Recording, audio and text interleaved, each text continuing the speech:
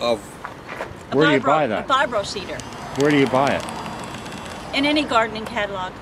Harris, They they can be small, Harris. they can be large, but See?